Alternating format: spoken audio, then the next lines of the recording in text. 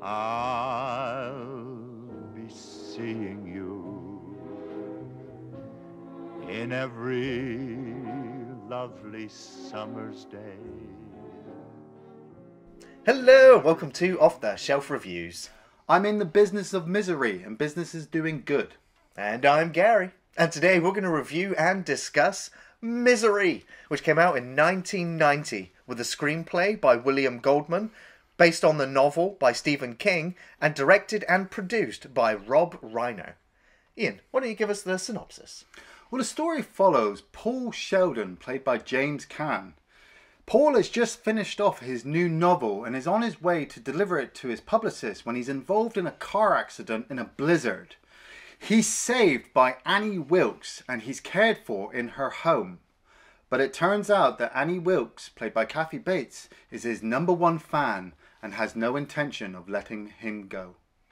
So, Stephen King was actually reluctant, apparently, to sell the movie rights to Misery. Right. Um, and that's mainly because I imagine that Misery is it's kind of a reflection of Stephen King. Like, Yeah. I mean, Stephen King puts a lot of writers in his movies and say- stories, Yeah. yeah. and we all know it's it's no secret anymore that Stephen King had a serious substance abuse problem. yeah, if you ever watch Maximum Overdrive, Cocaine is a hell of a drug. And uh, and so there's a lot of Stephen King in in the story. Yes. Um, you know, Annie Wilkes is the personification of drug abuse. Um, ah, and so that that is how he kind of you know put put what was happening to him in real life in his book, and so it was very right. personal to him. And it took Stephen King many many years later before he actually acknowledged and admitted that that was what he had done. Yeah, yeah, yeah, yeah. Um, but of course, Stephen King, you know, there, we'd already had at this point Stand by Me. Yep. Pet Sematary, Yep. The Shining, Yep. a- and several others. And so I was like, well, it's, it surprises me that Stephen King was, would be reluctant to sell the movie rights regardless. some um, of them weren't getting the hits like his books were. Well, this is true. I mean, like, well, with The Shining, you know, Stephen King was is famously very unhappy with it. Yeah. and it was interesting that they offered Jack Nicholson the lead role in Misery, the movie, Ah, and he was just like, "Look, after Nope. what happened with Shining, I'm not taking that." Yeah, but why? Something's amazing. And so Stephen King literally said to the studios, "Like, I'm not going to sell you the Misery rights." Unless Rob Reiner directs and produces this movie Yeah. after what he did with Stand By Me. Because Stand By Me is amazing. And it also was proof then that Stephen King could branch out away from horror. Yes. Um, because Stephen King was like, I hate being typecast as horror guy. I would like to do other stories. Yeah, and yeah, with, yeah. With Stand By Me being a massive success, he was like, this director is the one I would have directing Misery. Yeah. And so Rob Reiner was like, well, of course, I'll, I'll do it. And then, you know, then the film went into production. Yeah.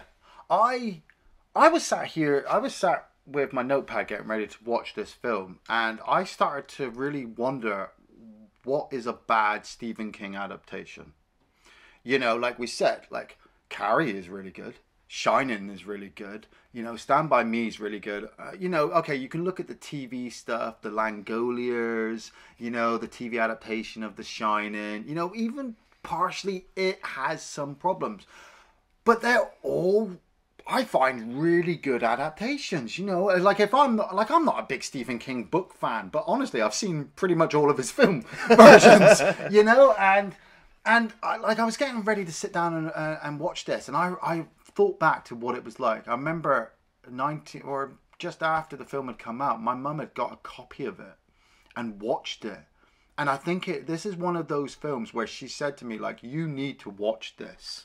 You know, like it was an eye opener for a lot of people. Exactly, you know, like not a femme fatale. I wouldn't call Annie Wilkes femme fatale, but like a black widow.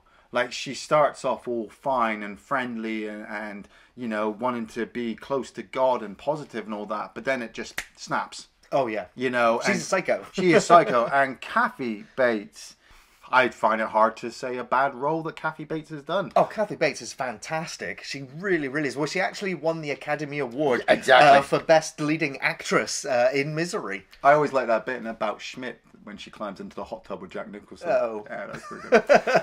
but James Caan as well. James Caan, Sonny from The Godfather. You know, we're talking. This guy has played a lot of bad guys. Yes. You know, he plays a lot of bad guy roles.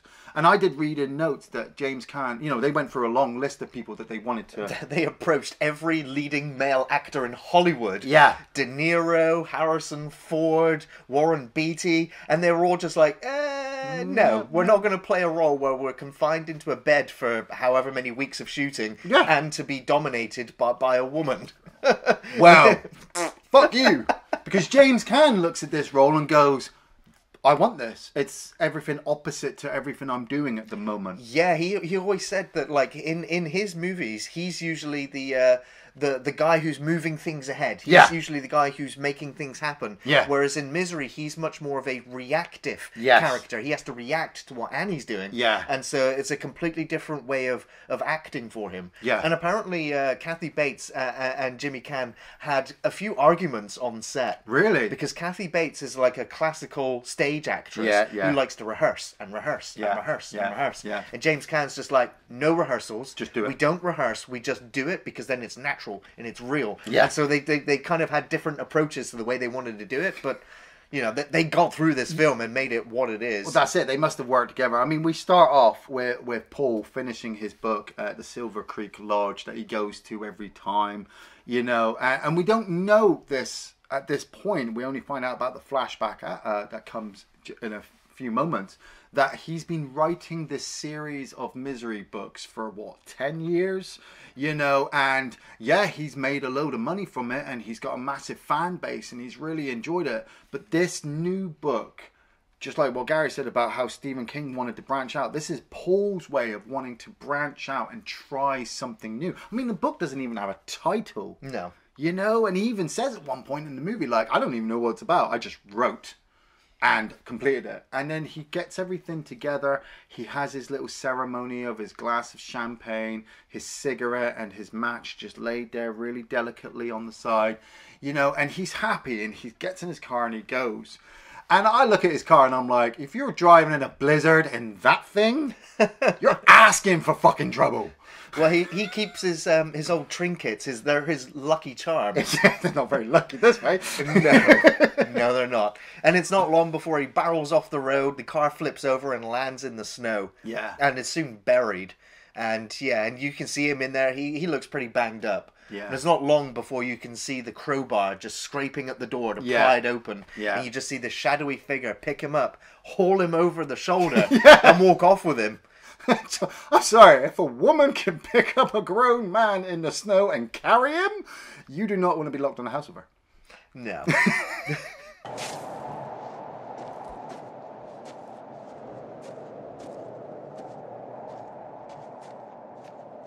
But I did like the way that it did flashback after the crash to obviously have us have him talk to his publicist before he goes off to the Silver Lodge, you know, and explain about what he's attempting to do and what he wants to do. And she's positive behind it. So it, it sets up, like you said, that it's not a horror.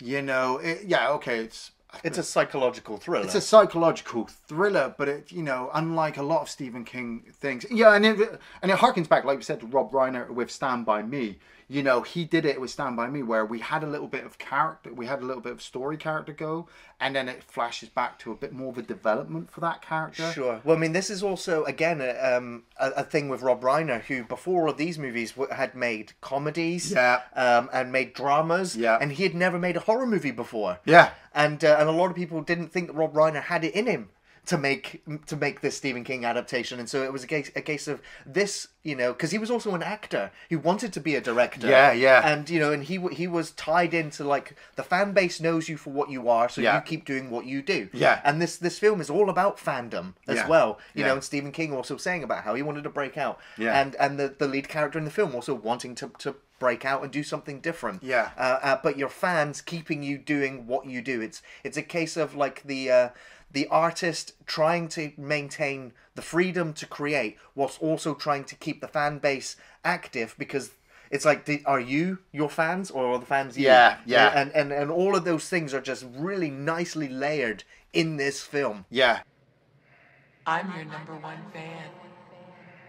There is nothing to worry about. You're gonna be just fine.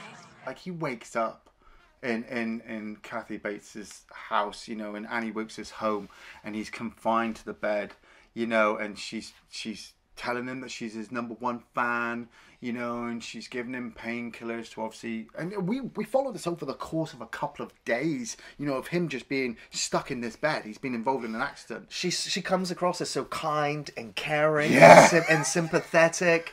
You Fucking know, Norman Bates, mate. Norman Bates. But it's it's so well crafted. Like you, she feels like like the best nurse you could have. Yeah, yeah. You know, she's taking care of you. It just so happens that she is a nurse. That's it, So that yeah. she can nurse you back to health. I hate that reveal when she pulls down the blankets. Oh, I love that. and you see his legs are battered and bruised and swollen and disfigured. I that see now that was thing for me, and I, I remember this from the first time I've watched this. That like I was a fan of horror, you know, and Freddy sticking his gloves into a teen or Jason hitting somebody with a machete. That was nothing. I was like, oh yeah, I can do that. Annie Wilkes pulling back those blankets just made everything real. Yeah. Because you're looking at those legs and you f- like I feel it. The pain. I'm like, oh fuck, shit, oh man, he's lucky to be alive. Yeah, And yeah. then partly in my mind, I'm like, I bet he wishes he died in the car. you know, because she explains to him like the roads are out. Uh, I can't get an ambulance out here. Phones are down. Phones are down. You know, the only time I can I can actually help you is when I get to, to town. You know, and, and and Paul's there like, oh man, I need to call my publicist. I need to call my daughter. It's her You birthday know, tomorrow. I love that that you like you never really see his daughter. No. But you you feel it while you're watching the film. Like there are people out there who are caring for him and need to know where he is because they they basically think he's dead. And the the conversations that Annie and Paul have while they're in that room, while they're in the house, you know, first off, it starts off all sweet and innocent and nice. She's his biggest fan. He's happy for her to help him and, and keep him like this. But then, like, when she comes back with that book, Misery's Child, the le- the last one that he's just released. Yeah. And she walks in and she's like, I picked this up at the store. And he's like, Oh, the roads are open. And she's like, Uh, yeah, yeah, but not the one to the hospital. And and you know, and and I called the I called the doctor and I asked him. I called the head doctor and I asked him if there was any reason for me to move you to the hospital if I'd done all this. And he told me no. And Paul's like, so the phones are working. Um, no, just the ones in town. I'm afraid. you know, and you start to go, oh, she's letting things slip. Yeah. You know. She got too excited at the fact that she was about to read a new Paul Sheldon novel Yeah. about her favourite character. Yeah. And all the while, though, she's still giving him this pain medication. And again, it's another tie in to the whole drug substance abuse thing, where in the film it doesn't sh- highlight it too much, but in the book, he then becomes addicted to the Oh, pain does meds he? that, that she's giving him. See, I like the way that James Caan expresses, just without saying anything, you know, how he doesn't want to keep taking these pain meds. Yeah. Like, he feels like those are keeping him subdued. Yeah, Yes. they're helping with his pain, you know, when, when that comes. But he knows deep down inside that he, he this is this is just going to keep him in bed and he needs to get out. Right. You know, and I love that about James James Th- this for me, like I know I've probably seen not as many movies of his that I want to, but this for me is one of his best Oh, I agree. I agree. You know, because yeah, those main actors they had to go up against Kathy Bates, but you can just give so much emotion so- from just sitting in a bed going, "This is a really uncomfortable situation." Yes. When my husband left me, I wasn't prepared. It wasn't an easy time. For a while, I thought I might go crazy. I, I want to bring up uh, Richard Farnsworth uh, playing Buster, um, the the local sheriff, mayor, fish gamekeeper of this tiny little town. I love this guy. Um, if you've ever seen the Straight Story um, about a guy who travels across America on a on a tractor to see his brother, it is fucking fabulous. And I totally forgot he was in this. So when I saw him, I'm like, yes, this movie's just gone up a few more. I love his snidey, spiteful back and forth with his wife. yeah, I mean that actress is fucking brilliant as well. And yeah, they have that like little bit in the car, don't they? Because he, he gets called, Buster gets called by the publicist, and he's just like, oh, okay, I'll go out and I'll investigate. And he goes to the Silver Lodge, and he gets told that Paul's like the best guest, you know, and there it's a real shame if anything's happened to him.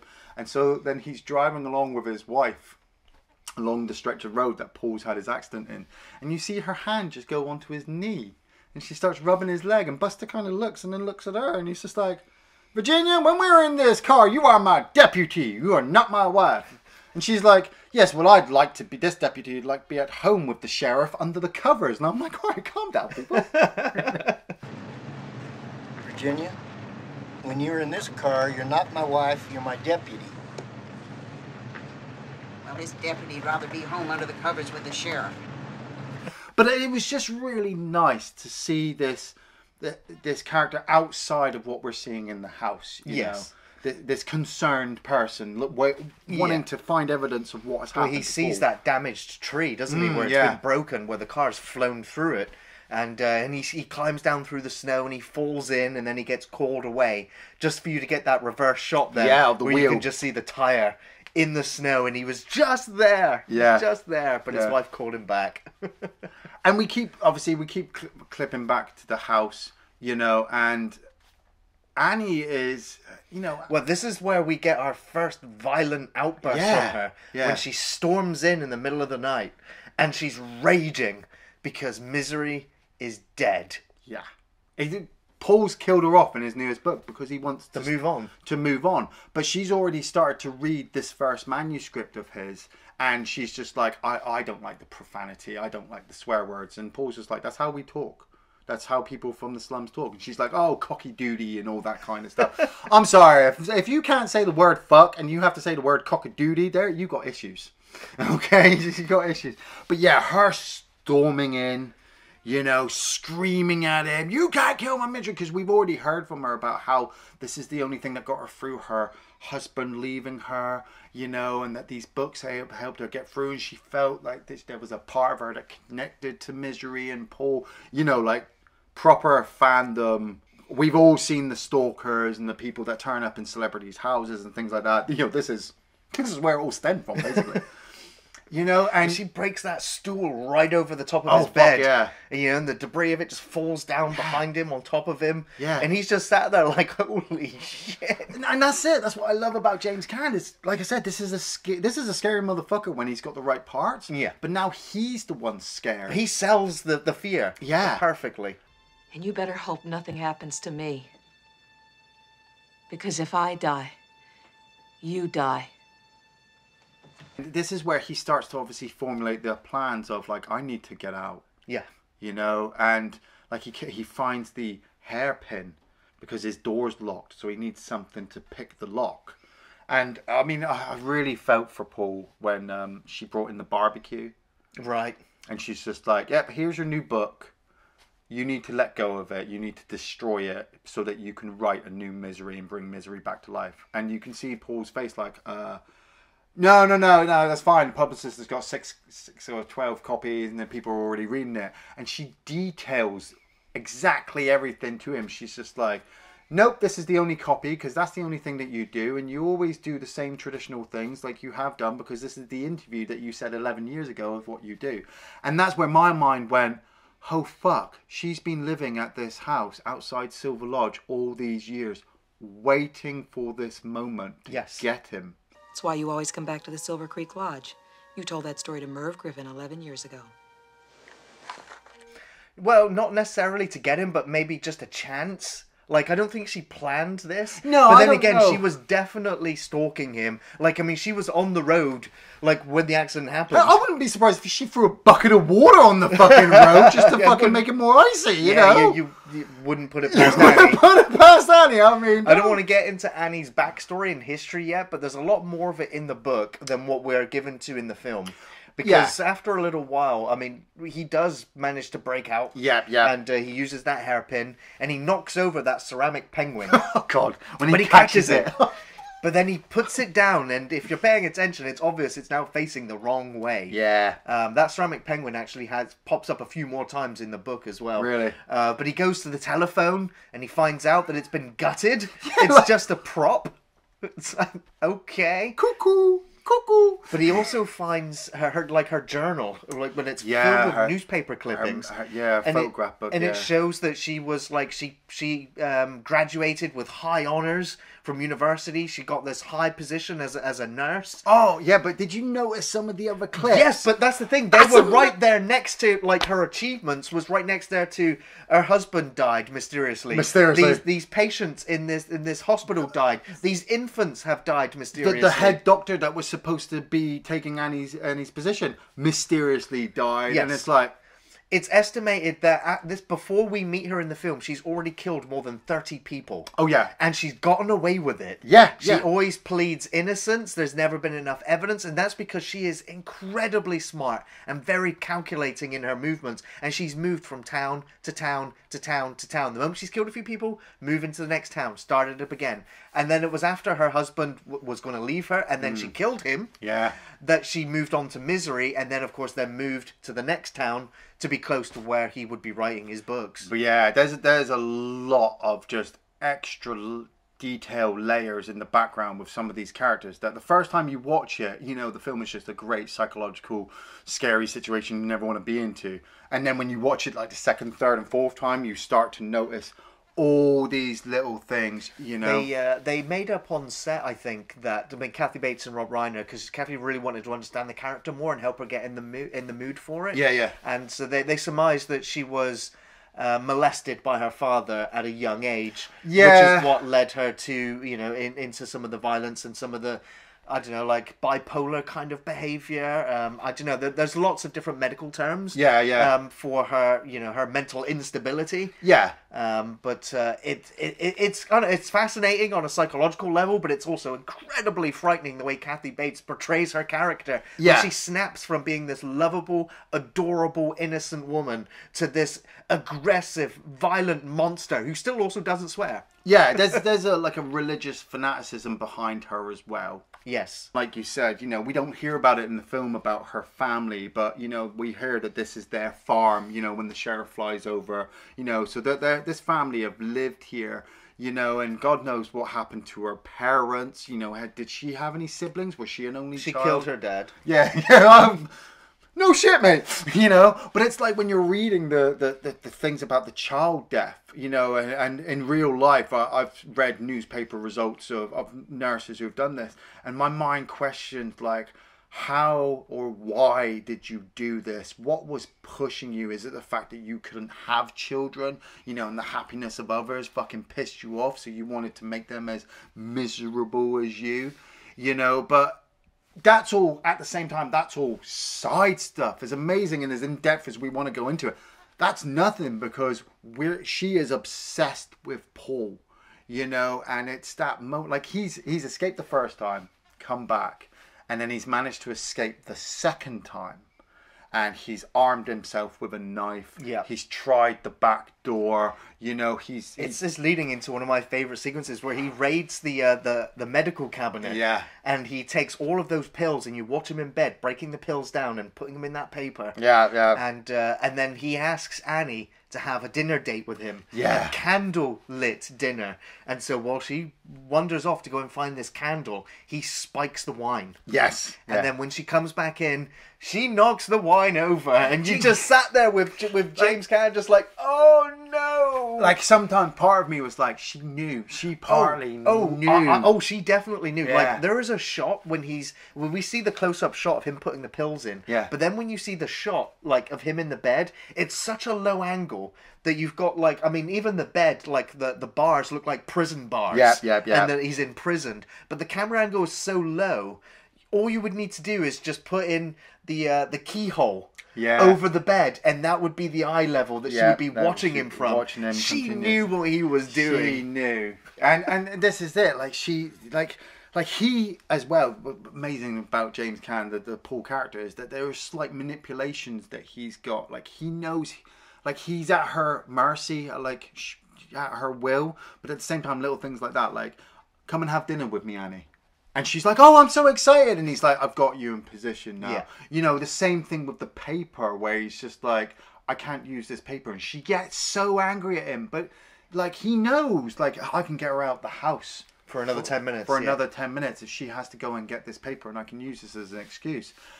And uh, like I, I love that little moment as well, where like it's raining, and she comes into the room, she just chucks him his pills, and she goes to walk off. And he's like, and you, it's a real change of her character. Even, you know, you've had the angry side of her and the happy go lucky side of her. Now we've just got depressed Annie, Yeah. you know. It's again a side effect of her, her mental condition where she's suicidal. That's it. She's just like, the rain brings me the blues, and I've got this gun, and sometimes I think about, you know, killing myself.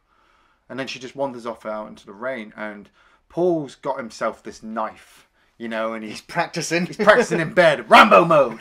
Rambo mode. Yeah, I fucking got it down. I'm gonna fucking yeah. He's got he's, and he's got this plan, and then he falls asleep, and Annie comes in and just jams him in the arm with a fucking sedative. that shot where she's just there and a Yeah. flash of lightning Oh, man. jabs him in the arm and she's like i know you've been getting out of bed my ceramic uh, penguin was facing the wrong way Yeah. and uh, you're staying here until you finish this book and just to make sure you do it oh yeah. i'm gonna hobble you and she recounts this story I mean, they're, they're in a mining town, and so she talks about how miners, uh, if they would steal the diamonds, they would hobble them, Yeah. so that they could continue to work. Work. And you watch her place that two by four between his ankles.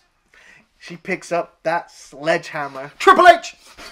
and it's completely different from the book. Yeah. And they argued. They had arguments, and they they they wondered what to do on set, and they thought it would be too much. Yeah, To I- do to take an axe and cut off his foot. Yeah. And so they went with what they did, and you only see one ankle get broken. Yeah. But when she swings it, and you hear that snap, Just one more.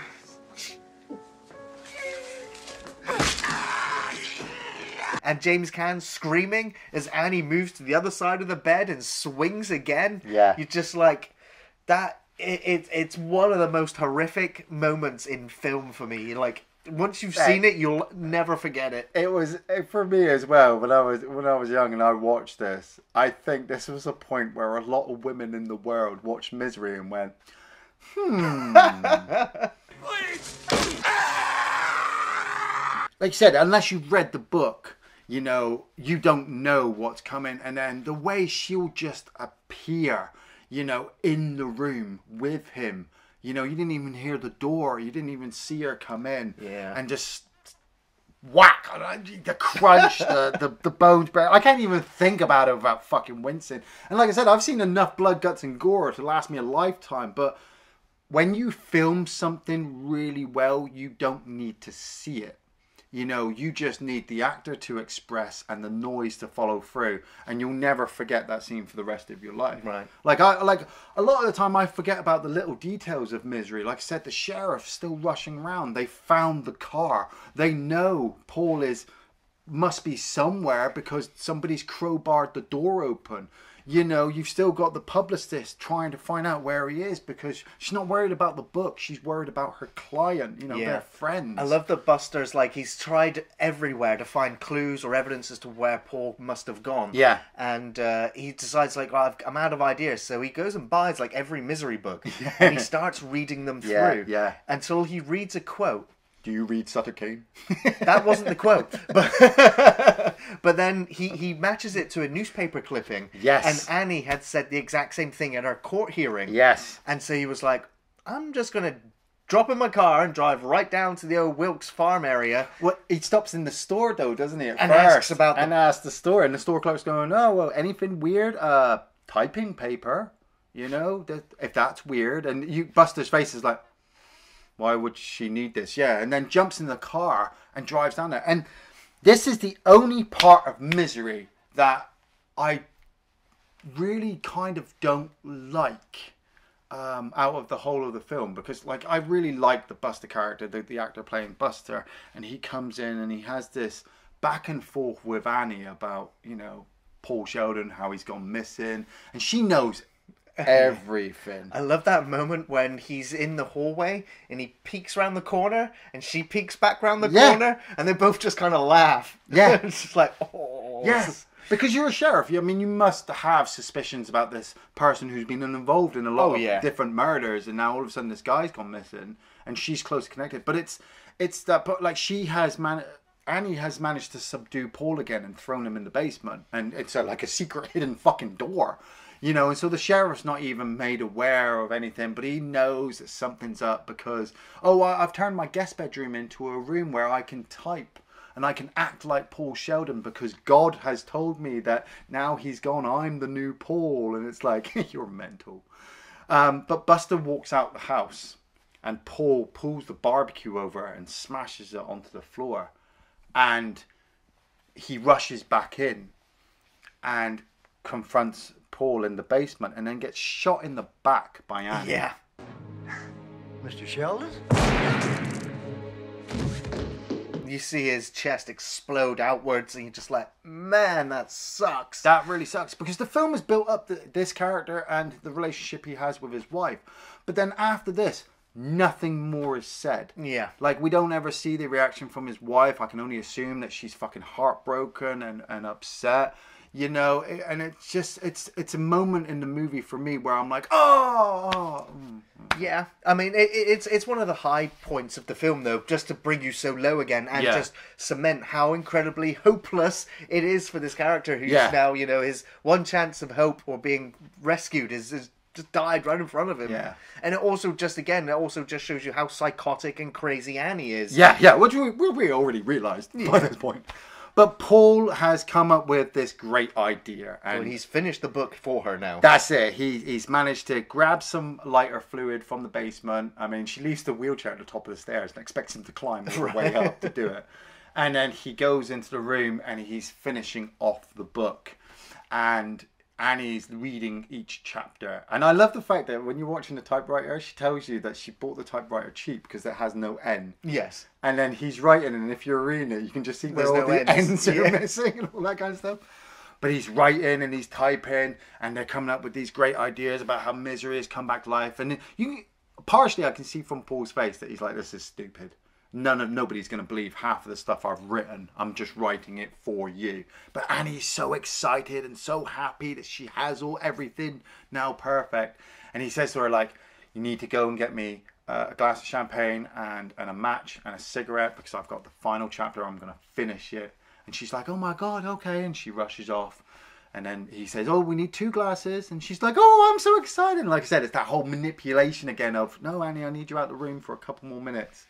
And he, he gets her out of the way and he throws the finished book on the floor and he gets the last page and he covers it in lighter fluid and she hands him, you know, she, she comes back into the room and he's got the match and he's, I love it. He's just like, all the information you wanted about Misery's dad, it's in here. The person that she falls in love with, it's all in here. And he just lights the match, lights the page, and just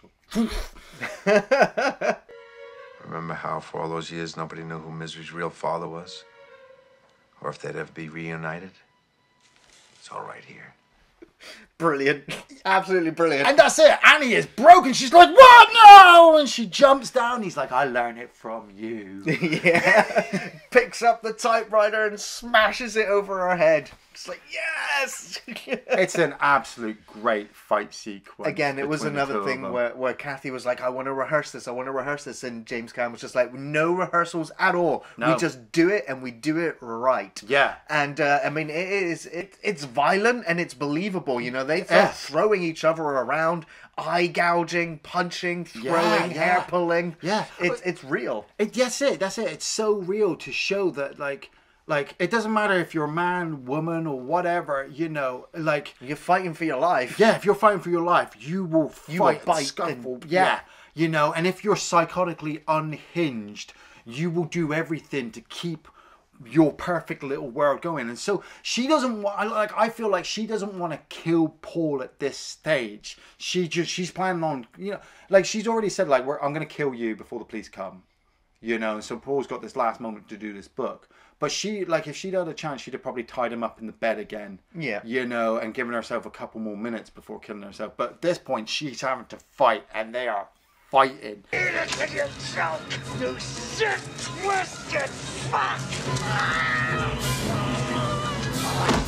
That moment when he trips her up and her head Oh. bangs off the typewriter. Yeah, yeah. like, oh, I was like, how did they do that? Was that a, was that a dummy? Like, was was the that typewriter made out of rubber? Because it felt horrible. And it's the clunk as well. yeah, exactly. And you believe that she's out because, like, we get the overhead The blood shot, puddle. blood puddle, and if you played enough video games, that blood puddle usually tells you they're dead. You know, but Paul is crawling out of the room, and then she lunges on him at the last moment, and you're like, "Fuck, it's Carrie all over again. She's still alive." I love the fact that he has to reach out for misery. the the pig. pig ornament because of course Kathy's pig is named Misery, so it's literally Misery that saves him. Yeah. and he just clocks her right in the fucking head. Yeah. You know, funk. And part of me, even though even though I've watched this film a million times, I'm still sat there like, she's gonna get up. Right, yeah. You know? no, she definitely She's dead. definitely dead. But it's in the back of your mind, and it's also in the back of his mind because months, years later, Yeah. he's still having that post-traumatic stress disorder where he's seeing Annie Oh god. in place of others when Yeah. she's not really there. But it's a really awesome and poignant moment at the end when he sat with his publicist and he's like, "Look, I wasn't able to write this book until the things that happened to me. Yeah. Annie has changed me. Yeah. She's made me realize about my fandom, about who I am, and Yeah. about what I want to do. Yeah. Um, and the publicists are like, oh, you need to write a book about everything that just happened to you Yeah. so that we can make some money. Yeah. And he's just like, You're telling me we should make money on one of the most traumatic experiences of my life? And then you see her walking down, didn't you? And yeah, you're like, a knife. Oh fuck, she's still alive. And it's the way James Caan is still talking about like how he still sees her. She's in the back of his head. He's still having nightmares. And then the woman, cha- Kathy Bates, changes to a normal woman, and she just looks at him and goes, "Are you Paul Sheldon? I'm your number one fan." And he goes, "Thanks." Excuse me. I don't mean to bother you, but are you Paul Sheldon? Yes. I just want to tell you I'm your number one fan. Man, what a film. What a film!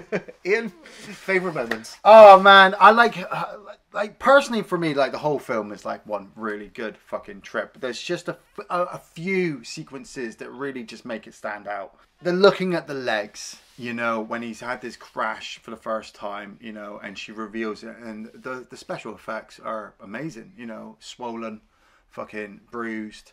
You know, I like I said, I feel it, and I feel the confinement that James Caan is in at this point because he emotes it to me to say like, I I I can feel the pain, and I don't want to feel the pain. I don't even want to fucking look at it.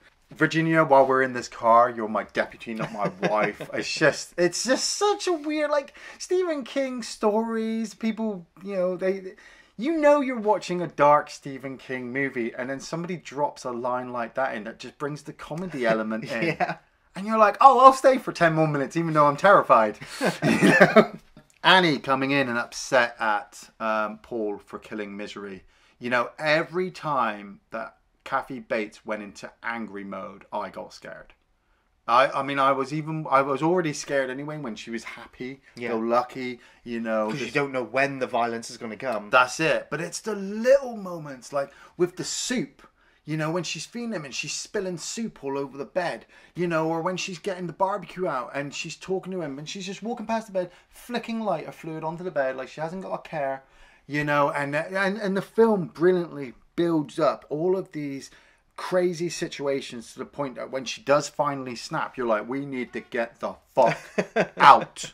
Um, and and yeah, just like I said, the leg situation with the the, the piece of wood. Yeah. You know, I I- I've already said this, but I always forget the little things in this movie, the conversational pieces, you know, the actors, exactly what everybody goes through. But I will never, ever forget that piece of wood and that sledgehammer. Right. yeah, there are so many highlights in the film. I think my first favorite scene is this, the the first sequence where he uh, gets out of bed and collapses and hits the Oh, floor. yeah, yeah. And he's screaming in pain, but he Yeah. gets he gets out of the door. And for me, it's like it's the first time you get to see the rest of the house. Yes, yeah. Um, and it's such a tense moment, especially when he hears her coming back, and he's desperately trying to get back into his room and lock the door and get back into bed and be like, she's like, oh, you're all sweating. yeah.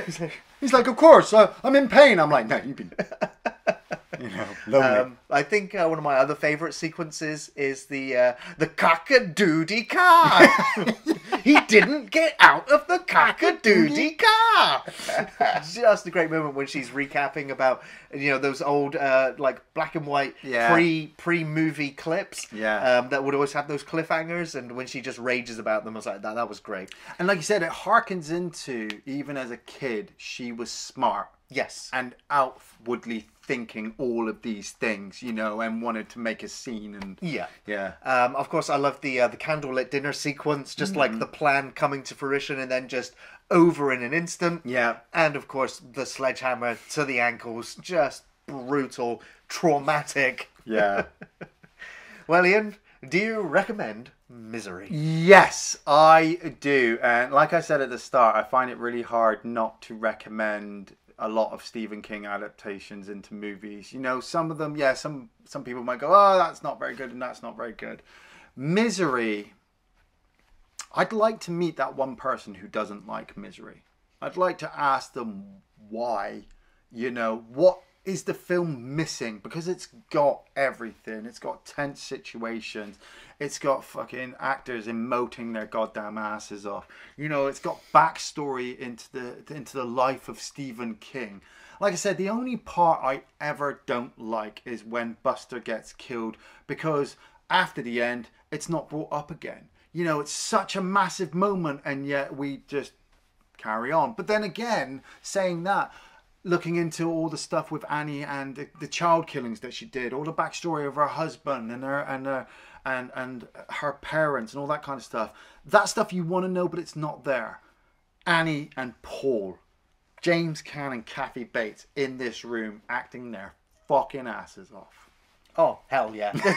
An absolute easy recommendation for me. It's a great thriller and one of the best, with exceptional performances from Kathy Bates and James Caan. It's gripping from start to finish and holds up on multiple viewings. The film moves at a great pace with excellent direction by Rob Reiner with a constant state of dread and rising tension as the levels of insanity are slowly revealed.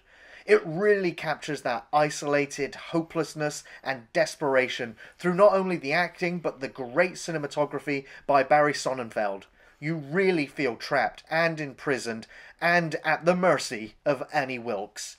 There's a lot of good Stephen King adaptations, and this is a great one. It's a must watch for cinema and film fans, with scenes so well done you will always remember it. And Misery loves company. Thanks for watching Off the Shelf Reviews. I'll be looking at the moon, but I'll be seeing you.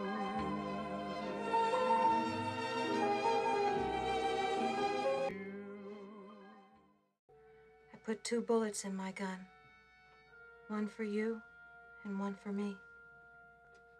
Oh, darling, it'll be so beautiful.